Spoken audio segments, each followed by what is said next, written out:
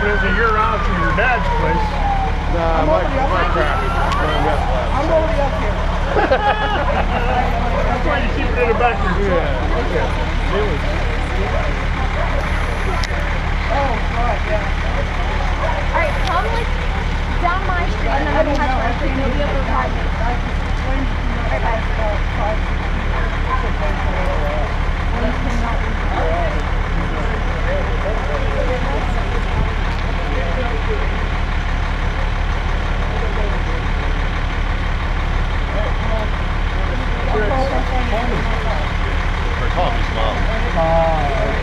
Stop.